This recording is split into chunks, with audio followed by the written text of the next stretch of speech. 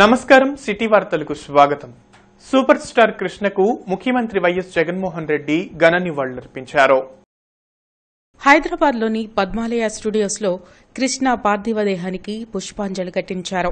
అనంతరం మహేష్ బాబుతో పాటు ఇతర కుటుంబ సభ్యులను ఓదార్చి ధైర్యం చెప్పారు. సీఎం జగన్తో పాటు మంత్రి వేణుగోపాల్ ఎంపీ భరత్ ఉన్నారు.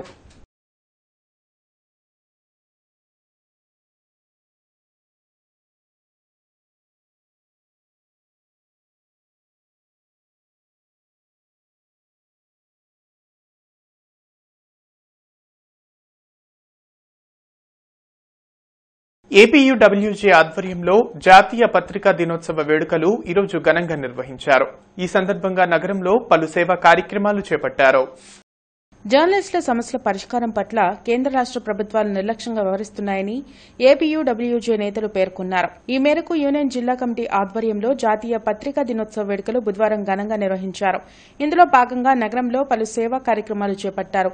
శ్రీనగర్లోని మాతృశ్రీ వృద్ధాశ్రమంలో వృద్ధులకు పళ్ళు పంపిణీ చేసి మొక్కలు నాటారు. ఈ కార్యక్రమంలో ఏపీయూడబ్ల్యూజే జిల్లా అధ్యక్షులు నాగుల్ మీరా కార్యదర్శి ఏచూరి శివ తదితరులు పాల్గొన్నారు.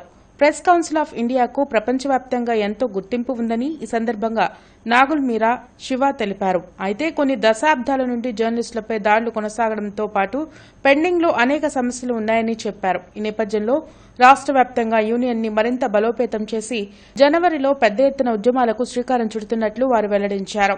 జాతీయ పత్రికా దినోత్సవం సందర్భంగా ఏపీడబ్ల్యూజే గుంటూరు జిల్లా నేతృత్వంలో గుంటూరులోని మాతృశ్రీ వృద్ధాశ్రమం వృద్ధాశ్రమంలో ఈరోజు పళ్ళ పంపిణీ కార్యక్రమాన్ని ఏపీడబ్ల్యూజే నిర్వహించింది. ప్రధానంగా చూసుకుంటే జాతీయ పత్రికా దినోత్సవాన్ని పురస్కరించుకొని కూడా కేంద్ర రాష్ట్ర ప్రభుత్వాలు జర్నలిస్టులపై వ్యవహరిస్తున్న తీరును నిరసిస్తూ జనవరిలో రాష్ట్ర వ్యాప్తంగా కూడా చలో విజయవాడ నిర్వహించాలని చెప్పి ఐజేయు తీర్మానించింది. దానిలో భాగంగానే జనవరి మొదటి వారంలో జర్నలిస్టుల సమస్యల పరిష్కారం కోసం చలో విజయవాడని విజయవంతం చేయాలని చెప్పి కూడా ఏపీడబ్ల్యూజే కోరుతాం. నవంబర్ పదహారవ తేదీన ప్రతి ఏడాది జరుపుకునే జాతీయ పత్రికా దినోత్సవం సందర్భంగా ఈరోజు గుంటూరులోని శ్రీనగర్ ఏడవ లైన్లో ఉన్న మాతృశ్రీ వృద్ధాశ్రమంలో పండ్లు పంపిణీతో పాటు మొక్కలను నాటే కార్యక్రమం చేపట్టాం. అలాగే గుంటూరు జిల్లాలో కూడా వివిధ నియోజకవర్గాల్లో సేవా కార్యక్రమాలు చేస్తున్నారు. సేవా కార్యక్రమం చేస్తున్న ప్రతి వారికి కూడా ధన్యవాదాలు తెలియజేసుకుంటున్నాం. జర్నలిస్టులపై జరుగుతున్న దాడులను అరికట్టేందుకు IG Indian journalist union Andhra Pradesh working journalist union సంయుక్త ఆధ్వర్యంలో చేస్తున్న పోరాటాలు మరింత ఉధృతం చేసేందుకు జనవరి పదహారవ తేదీన సంక్రాంతి పండుగ తర్వాత ఒక ఉద్యమాన్ని చేపట్టాలనుకున్నారు ఆ ఉద్యమం చేపట్టే అందులో భాగంగా ప్రతి రా రాష్ట్రంలోని అన్ని నియోజకవర్గాల్లో సమావేశాలు ఇవన్నీ జరపడం జరిగింది. అలాగే జిల్లాలో ఉన్న కొత్త కమిటీని కూడా ఏర్పాటు చేసే భాగంలోగా డిసెంబర్లో గుంటూరు జిల్లా కమిటీ కూడా నూతన కమిటీ ఏర్పాటు చేయాలని ఒక సదుద్దేశంతో రాష్ట్ర కమిటీ పిలుపునిచ్చింది. కనుక జర్నలిస్టు మిత్రులందరూ కూడా తమ ఓటు హక్కును వినియోగించుకొని అలాగే సభ్యత్వ నమోదు జరుగుతున్న కనుక పేర్లు కూడా నమోదు చేసుకొని రేపు జరగబోయే జిల్లా మహాసభను విజయవంతం చేయాలని అలాగే పత్రికా దినోత్సవంలో పాల్గొన్న ప్రతి ఒక్కరికి పేరు పేరున ధన్యవాదాలు తెలియజేసుకున్నాను. అరండల్పేటలోని జిల్లా గ్రంథాలయంలో గ్రంథాలయ వారోత్సవాలు ఘనంగా కొనసాగుతున్నాయి. ఈ మేరకు వారోత్సవాల్లో భాగంగా బుధవారం విద్యార్థులకు పలు పోటీలు నిర్వహించారు. గ్రంథాలయ ఉద్యమంలో ప్రముఖుల పాత్ర పర్యావరణ పరిరక్షణ వంటి అంశాలలో నిర్వహించిన డిబేట్లో విద్యార్థులు ఎంతో ఆసక్తిగా పాల్గొని తమ ప్రతిభను చాటారు. అదేవిధంగా పోటీల్లో ప్రతిభ కనపరిచిన చిన్నారులను అతిథులు అభినందించారు.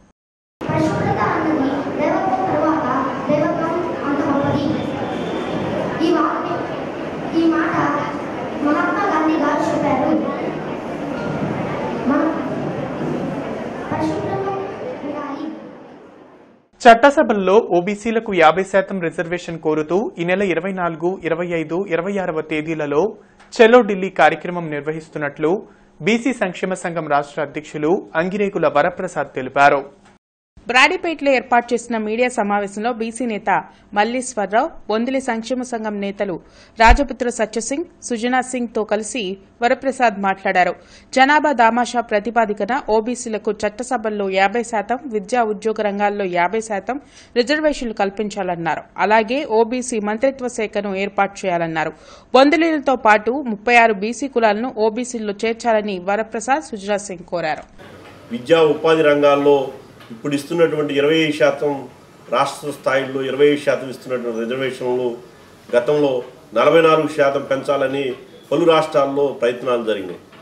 ఆ సందర్భంలో కేవలం యాభై శాతం కటాఫ్తో సీలింగ్ ఉంది కాబట్టి రిజర్వేషన్లు పెంచలేమని చెప్పినటువంటి కేంద్ర రాష్ట్ర ప్రభుత్వాలు ఈరోజు ఈ బీసీల సంక్షేమం పట్ల నిర్లక్ష్యపూరితంగా వివక్షపూరితంగా వ్యవహరిస్తూ ఉన్నాయి. అందుకనే మేము చాలా స్పష్టంగా కోరుతా ఉన్నాం. ఈరోజు కేంద్రంలో ఉన్నటువంటి నరేంద్ర మోడీ గారు బీసీల సంక్షేమానికి ప్రత్యేకమైన చర్యలు తీసుకోవాలని కోరుతా ఉన్నాం. అదేవిధంగా కేంద్రంలో ఓబీసీలకు ప్రత్యేకమైనటువంటి మంత్రిత్వ శాఖ ఏర్పాటు చేయాలని ఈ నెల ఇరవై నాలుగో తేదీన చెలో ఢిల్లీ కార్యక్రమాన్ని ఆర్ కృష్ణయ్య గారి నాయకత్వంలో బ్రాడిపేట సిపిఎం కార్యాలయంలో రేపు సాయంత్రం మూర్ఛ వ్యాధిపై అవగాహన కార్యక్రమం నిర్వహిస్తున్నట్లు నిర్వాహకులు సత్యనారాయణ ప్రసాద్ తెలిపారు. బ్రాడీపేట సిపిఎం కార్యాలయంలో న్యూరో సైంటిస్ట్ అసోసియేషన్ ఆరోగ్య వేదిక ప్రతినిధులతో కలిసి మీడియాతో సత్యనారాయణ ప్రసాద్ మాట్లాడారు. బ్రాడీపేట సిపిఎం కార్యాలయంలో గురువారం సాయంత్రం జరిగే మూర్ఛ వ్యాధి అవగాహన కార్యక్రమాన్ని రోగులు సద్వినియోగం చేసుకోవాలని పిలుపునిచ్చారు. మూర్ఛ రోగం పట్ల అవగాహన కల్పించేటువంటి కార్యక్రమంగా దీన్ని మనం తీసుకోవచ్చు. ముఖ్యంగా ప్రజల్లో మూర్ఛ రోగం పట్ల ఎన్నో అపోహలు ఉంటూ ఉంటాయి. కొంతమంది మూర్ఛ రోగం వచ్చిన తర్వాత మేము రెండు సంవత్సరాల మందులు వాడాలా ఐదు సంవత్సరాల మందులు వాడాలా ఇట్లాంటివన్నీ అడుగుతూ ఉంటారు. చాలామంది ఒక ఆరు నెలలు లేకపోతే మూడు నెలలు వాడిన తర్వాత మాకు బాగానే ఉందని మందులు ఆపేసామండి అని కూడా చెప్తాం మనం గమనిస్తూ ఉంటాం. ఇట్లాంటి విషయాల్లో మనం ఎంతకాలం మందులు వాడాలి అసలు మందులు వాడాల్సిన అవసరం ఏంటి ఎటువంటి విషయాల్లో మనం ఎలాంటి జాగ్రత్తలు తీసుకోవాలి. ముఖ్యంగా మనం చూసినట్లయితే మూర్ఛ వచ్చినటువంటి సమయంలో అక్కడ ప్రమాదం జరగకుండా చూడాల్సినటువంటి విషయాన్ని పక్కన పెట్టేసేసి అందరూ చేతిలో ఇనప తాళాల గుత్తి ఒకటి పెట్టడం మూర్చ తగ్గుతుంది అనుకోవటం ఇట్లాంటివన్నిటిని కూడా మనం గమనిస్తూ ఉంటాం. మా కార్యక్రమాల కొనసాగింపులో భాగంగా రేపు గురువారం సాయంకాలం ఐదు గంటలకి గుర్రం జాషువా విజ్ఞాన కేంద్రంలో అన్ని ఉద్యోగ సంఘాల సహకారంతో ప్రజారోగ్య వేదిక ఈ ఎపిలెప్సీ డేని నిర్వహిస్తోంది. దీంట్లో గుంటూరు నగరంలో ఉన్నటువంటి ప్రముఖ న్యూరో ఫిజిషియన్స్ అందరూ న్యూరో సర్జన్స్తో సహా పాల్గొనబోతున్నారు. ప్రజలతోటి మమేకమై వారు అడిగేటువంటి ప్రశ్నలకు సమాధానం చెప్పడం కోసం ఈ అవకాశాన్ని ప్రజలందరూ సద్వినియోగం చేసుకోవాలని చెప్పి మేము ప్రజారోగ్య వేదిక తరఫున కోరుతున్నాం. కన్నావారి తోటలో సూపర్ స్టార్ కృష్ణ సంస్మరణ సభ జరిగింది. పలువురు నేతలు కృష్ణ చిత్రపటానికి పూలమాలలు వేసి నివాళులర్పించారు. గంటా బుజ్జి ఆధ్వర్యంలో కన్నావారి తోట మెయిన్ రోడ్లో సూపర్ స్టార్ కృష్ణ చిత్రపటానికి పూలమాలు వేసి నివాళులర్పించారు. ఈ కార్యక్రమంలో గంటా మౌనిక మాట్లాడుతూ సూపర్ స్టార్ కృష్ణ తన అద్భుత నటనా కౌశలంతో స్నేహపూర్వకమైన వ్యక్తిత్వంతో ప్రజల హృదయాలను గెలుచుకున్నారన్నారు. ఒక గొప్ప నటుడిగా సూపర్ స్టార్ కృష్ణ మృతి సినీ ప్రపంచానికి తీరని లోటన్నారు. కృష్ణ కుటుంబ సభ్యులకు తన ప్రగాఢ సానుభూతిని తెలియజేశారు కార్యక్రమంలో గంట పెద్దబ్బాయి అరుణ్ కొండలు మురళి గంటా చిరంజీవి పాల్గొన్నారు. కృష్ణ గారు ఎంతో మందికి ఆదర్శప్రాయం. ఎందుకంటే మన తెలుగు సినీ పరి- పరిశ్రమలో మన తెలుగువారి కోసం కొత్త కొత్త ఇవన్నీ కూడా ఇన్నోవేటివ్గా సెవెంటీ ఎంఎం ఇవి కానీ ఏవైనా కూడా కొత్తదనం అనేది ముందు మొదలుపెట్టింది ఆయనే. ఈ కొత్తదనం అనే కాకుండా ఎంతో మందికి అవసరం అన్న వాళ్ళకి సహాయం చేస్తూ ఆయన ఆయన కుటుంబం ఎంతో మందికి తోడుగా ఉండి వాళ్ళకి మేము ఉన్నామన్న భరోసా కల్పించారు. ఆయన పేద ప్రజల కోసం ఎంతో సేవలు చేశారు.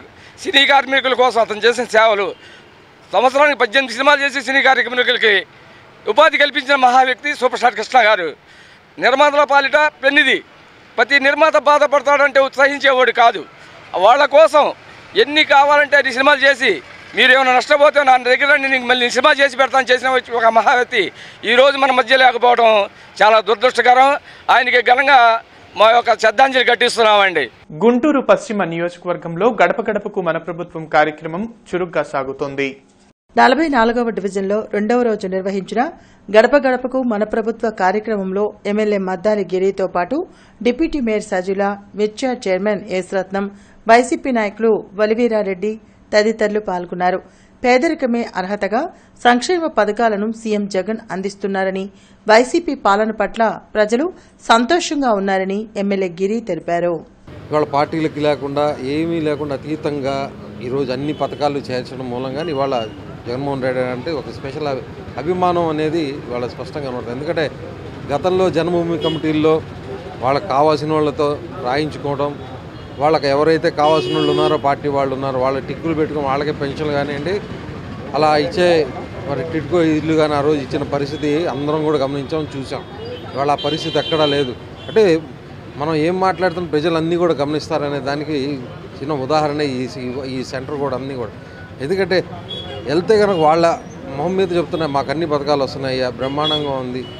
గతంలో ఇదే ఏరియాలో కొద్దిగా ఇబ్బందమైన పరిస్థితులు ఉండేవి కానీ వాళ్ళు అది దాటుకొని ముందుకెళ్తా ఉన్నాం. ఇవన్నీ కూడా మేము ఇంత స్వేచ్ఛగా ఇంత హ్యాపీగా ఇంత నవ్వుతా తిరుగుతానికి కారణం ఒకళ్ళే. జగన్మోహన్ రెడ్డి గారు అని నేను స్పష్టంగా చెప్పగలను. ప్రతిపక్షంలో ఉన్న రోజు కూడా ఈరోజు వైఎస్ఆర్ పార్టీని ఇక్కడ బలంగా ఉంచిన క్రెడిట్ మన ఒలివీరారెడ్డి గారికి దక్కుతుంది. ఈ రోజున ఇంటింటికి కూడా వరుసపెట్టి అన్న అక్క అని పిలిచే స్వాతంత్రం ఉండి మరి ప్రతి ఇంట్లో కూడా ఇప్పుడు సంక్షేమ పథకాలు వచ్చినాయే కాకుండా ఇంకా ఏ ఇంట్లో ఏమి రావాలని ప్రతి ఇంటికి తిరిగి మరి ఉదయం నుంచి రాత్రి వరకు ప్రతి ఇంట్లో కూడా ఇంకా అవసరమైన పథకాలని మరి గుర్తించేసి ఆ అవసరానికి తగ్గట్టుగా ఆ పథకాలను అందిస్తున్న మరి వైఎస్ఆర్సీపీ నాయకులకి మరి అదేవిధంగా ఇది అంతా సక్రమంగా ఇంటింటికి అందటానికి సహకరిస్తున్న వాలంటరీ వ్యవస్థకి రా సెక్రటరియట్ వ్యవస్థకు కూడా నేను ప్రత్యేకంగా ధన్యవాదాలు తెలియపరుస్తున్నాను. ఎస్సీ సప్లాన్ నిధులు తొమ్మిది వేల తొమ్మిది వందల కోట్లను దారి మళ్ళించడాన్ని వ్యతిరేకిస్తూ డిసెంబర్ ఐదున విజయవాడలో దళిత సమరబేరీ నిర్వహిస్తున్నట్లు టీడీపీ ఎస్సీ సెల్ నేత మైనర్ బాబు ప్రకటించారు. టీడీపీ ఎస్సీ సెల్ ఆధ్వర్యాన డిసెంబర్ ఐదున విజయవాడలో తలపెట్టిన దళిత సమరబేరిని యావత్ దళితులు జయప్రదం చేయాలని మైనర్ బాబు ప్రకటించారు. జిల్లా టీడీపీ కార్యాలయంలో ఏర్పాటు చేసిన మీడియా సమావేశంలో ఎస్సీ సెల్ నేతలతో కలిసి మీడియాతో మాట్లాడారు.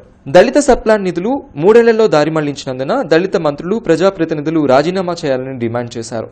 మా మనకి రావాల్సినటువంటి నిధుల్ని పక్కదారి మలిస్తున్నటువంటి జగన్మోహన్ రెడ్డిని మీరు నిలదీయాల్సింది పోయి మరి జగన్మోహన్ రెడ్డి ఊడికం చేస్తున్నటువంటి పాలర్పణ చేస్తున్నటువంటి మీకు మేము ఒకటే సవాల్ ఇసురుతున్నాం మీరు కానీ ఆ నిధుల్ని మళ్ళీ ఎస్సీ కార్పొరేషన్కి మళ్ళించి ఎస్సీలకి రావాల్సినటువంటి నిధులను కూడా మీరు మళ్ళీ వెనక మళ్ళించేసి మరి మూడు కార్పొరేషన్లు పెట్టారు. మాల కార్పొరేషన్ మాది కార్పొరేషన్ రెల్లి కార్పొరేషన్ పెట్టారు. వీటికి రావాల్సినటువంటి నిధులను కూడా మీరు మరి దక దారి మళ్ళిస్తుంటే మీరు ఏం చేస్తున్నారు అక్కడ? ఎస్సీలకి రావాల్సినటువంటి సప్లా నిధులను కూడా మీరు దారి మళ్ళిస్తున్నటువంటి మీ నాయకుడిని నిలదీయాల్సినటువంటి మీరు మరి నిలదీయకుండా మేనవేషాలు వేస్తూ అతనికి ఊడిగం చేస్తున్నటువంటి మీరు నిజంగా రేపు పదవిలో ఉండటానికి అనర్హత మీరు ఎమ్మటినే రాజీనామా చేయాలి. సిటీ న్యూస్ సమాప్తం. నమస్కారం.